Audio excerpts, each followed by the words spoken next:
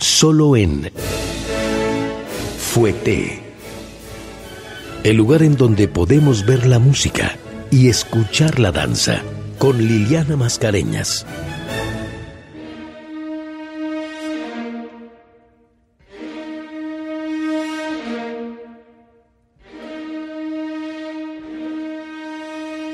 Hola, ¿qué tal? Muy buenas noches. ¿Cómo están? Soy Liliana Mascareñas. Les doy la bienvenida a Fuete, este espacio en donde cada semana podemos ver la música y escuchar la danza. Hoy les tengo un ballet que, bueno, va muy acorde ya con este frío que empezamos a sentir aquí en la Ciudad de México. Y además, bueno, pues después de que les cuente este ballet, por lo menos, que es mi caso, hasta me gustaría sumergirme en este paisaje que nos presenta Frederick Ashton con Los Patinadores, Le Patineur. Este es un ballet en un acto que tiene coreografía pues del ilustre coreógrafo británico, ¿no? como creador en buena medida de, de la imagen de la, de la danza británica, Sir Frederick Ashton, y tiene música compuesta por Giacomo Meyerbeer. La escenografía y el vestuario fueron diseñados por William Chappell y se presentó por primera vez con el ballet Big Wells en el Sadler's Wells Theatre en, en Londres el 16 de febrero de 1937. Este sería uno de los antecesores de lo que es ahora el Royal Ballet de Londres. A este ballet los patinadores se le ha llamado un paradigma de un ballet de Ashton perfectamente diseñado con una estructura compleja debajo de la superficie efervescente. La historia de este ballet pues es como una suma de, situaciones y de talentos, ¿no? El director de orquesta, Constant Lambert, descubrió y reorquestó la música de un intervalo dancístico de la ópera El Profeta de Giacomo Meyerbeer, justamente. A Ashton le gustó la idea del coreógrafo, porque en realidad primero iba a ser Marie Lambert a quien eh, Lambert le iba a proponer hacer algo con esta música, pero Ashton escuchó por ahí a, Lambert tocando eh, algunas notas de, de esto que estaba él arreglando y decidió que él quería tener como el privilegio de trabajar con esta música y hacer una coreografía. Y eh, este ballet normalmente se presenta en donde se presente bajo el título en francés, que es Le Patineur. No se cambia a The Skaters, por ejemplo, en Inglaterra, o a los patinadores en caso de que se presentara en un país de habla hispana. Ha conservado, pues, como un poco en la tradición de que el lenguaje universal de la danza clásica es el francés, pues, este ballet ha perdurado, perdurado así en el tiempo. Este es un ballet completamente abstracto. Muestra, nada más, sin mayor eh, complicación, a un grupo de amigos que es están pasando un rato ameno, un rato divertido, patinando. Los diseños de William Chappell dan el toque justo para realzar esta especie de fantasía invernal. Esta evocación que hace Ashton, además, como de esto, del, momento invernal, ¿no? De este tiempo, pues de, frío en donde el tipo de, de entretenimiento es distinto, es uno de los grandes favoritos en el repertorio del Royal Ballet. Y es que esta obra representa una fiesta de patinaje victoriana que tiene lugar en un estanque helado en una noche de invierno. Hay un semicírculo de enrejados con arcos pintados de blanco que separa el estanque de los bosques nevados atrás. O sea, se pueden ver dibujados algunos pinos atrás de esta estructura de madera que es una rejilla blanca que forma un semicírculo que tiene arcos y por encima de esto de este semicírculo se encuentran suspendidos unos pequeños farolitos chinos, estos farolitos de papel que arrojan luz sobre la lona blanca o el, linóleo blanco que cubre el piso, simulando el hielo y con alguna poca iluminación de los árboles oscuros que se recortan contra el cielo nocturno estrellado que está todo esto ilustrado en el telón trasero. Patinadores de todo tipo, ¿no? Los hay nerviosos principiantes y otros pues muy seguros de su experiencia. Hay unos presumidos que tienen ahí sus pequeños este, accidentes y parejas enamoradas, todos ellos juguetean en este lago congelado. El vestuario, pues además nos remite inmediatamente, aunque no viéramos el paisaje, pues sabríamos de qué se trata o en qué época del año estamos viendo esta historia. Todos los vestuarios simulan pues abrigos, hay muchos eh, puños con, con pieles, gorros ceñidos, muy ceñidos a la cabeza. Como es la era victoriana, las mujeres usan estos sombreros como con visera y un poco más altos atrás, amarrados con un lazo justo abajo del mentón y tienen pues cuellos de pieles, abrigos ricamente adornados, ¿no? Con, con detalles dorados, con bordados, abrigos largos y en las tonalidades van pues del azul al rojo al marrón y no puede faltar aquí el como la pareja principal que está vestida de un inmaculado blanco que complementa este paisaje maravillosamente. Así vemos entrar a distintos grupos de patinadores. Primero hay cuatro parejas que están vestidas con chaquetas color marrón y pantalón azul. Después hay una pareja de chicas que llevan unos abrigos y sombreros azul marino.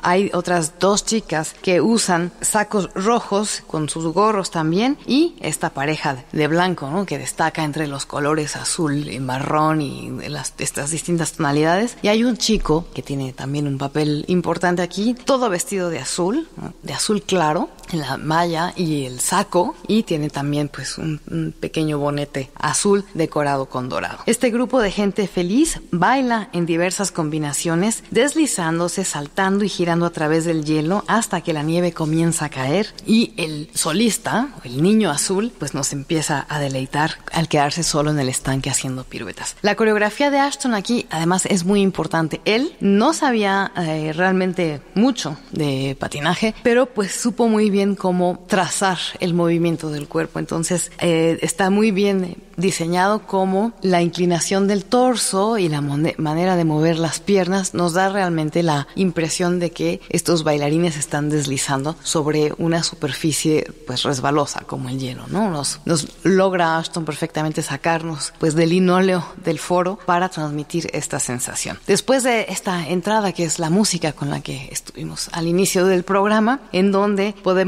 ver pues el desfile de los distintos grupos de patinadores que están en esta en este estanque, se queda como les dije este chico azul que tiene pues un papel destacado, normalmente es un solista con rango de primer bailarín de, de la compañía. Y Aquí este chico, con todo el virtuosismo y con este talento que tenía Ashton además para hacer coreografías intrincadas con un importante trabajo de pies, como con muchos retos, eh, pues aquí el bailarín demuestra de qué está hecho al quedarse pues solo rodeado por este paisaje invernal. Y vamos a escuchar a la Orquesta Sinfónica de Londres dirigida por Richard Boninge interpretar justamente este fragmento, la variación del chico de azul.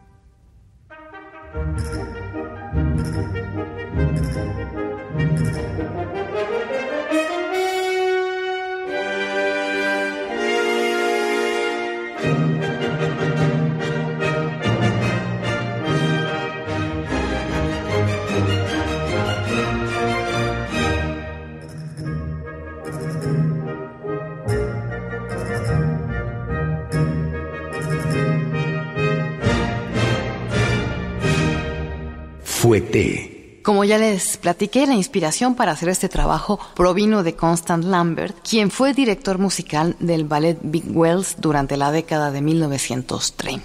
En esos años tuvo la oportunidad de ver un viejo programa de un ballet de 1849 de Paul Taglioni titulado Le Plaisir de l'hiver, o Los placeres del invierno, o Los patinadores, que le dio la idea para un nuevo ballet acerca del patinaje. Para crear la partitura escogió los números vocales y de danzas a partir de dos óperas de Meyerbeer, que son El Profeta y La Estrella del Norte y así las vinculó a pues una tonada irresistiblemente alegre. Ninette de Valois fue pensada originalmente para ser la coreógrafa, pero pues, esta anécdota que les conté, Ashton escuchó a Lambert tocar la partitura en el piano y pues él luego, levantó la mano y dijo que él quería hacerse cargo. Ashton sabía muy poco acerca del patinaje sobre hielo, pero afortunadamente una de sus bailarinas, que era Elizabeth Miller, pero afortunadamente una de sus bailarinas, Elizabeth Miller, sí conocía bien esta disciplina y ella le mostró algunos movimientos y trucos de esta especialidad. Su transformación en el vocabulario de ballet puso de manifiesto el virtuosismo